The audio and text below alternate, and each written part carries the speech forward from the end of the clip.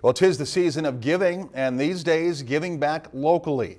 For this week's In Focus, Jamil Donath explains how Bemidji area artists are using their craft to help their community for the holidays.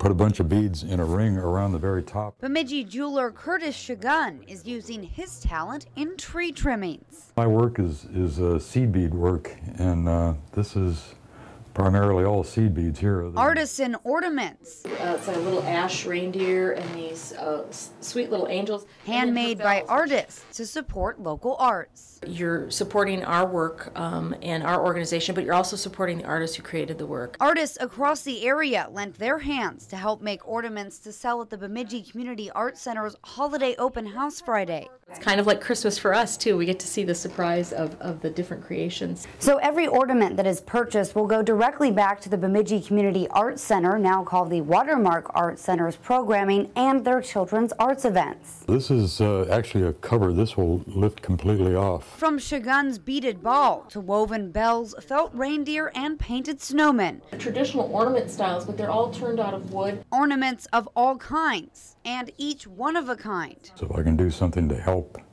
keep this going, and I'm all for it. A festive fundraiser, perfect for the holidays. It's kind of a fun way for someone to um, um, get a, a unique, one of a kind ornament, but also be able to support kids programming at the Arts Center. Giving back never looked so beautiful. For this week's In Focus, Jamil Donath, Lakeland News.